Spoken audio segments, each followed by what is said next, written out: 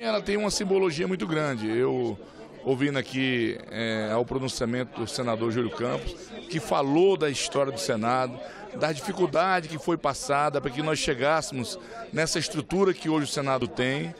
E essa ideia aqui dos nossos servidores, da nossa direção da casa aqui, eu abracei, porque é o mínimo, né? Acho que é o mínimo que nós podemos fazer pelo serviço prestado que esses senadores tiveram com essa casa. Eu acho que hoje estamos vivendo aqui um, um dia importante, porque eles já tinham colocado é, o nome na história dessa casa. Agora nós estamos fazendo essa galeria aqui e com certeza eles passam para a imortalidade. Agradeço a oportunidade e quero dizer muito obrigado, senador Sérgio, muito obrigado à nossa diretora-geral por esta homenagem né, que está sendo prestada em colocar a nossa foto numa galeria que vai ficar, como o senhor disse, para sempre, né?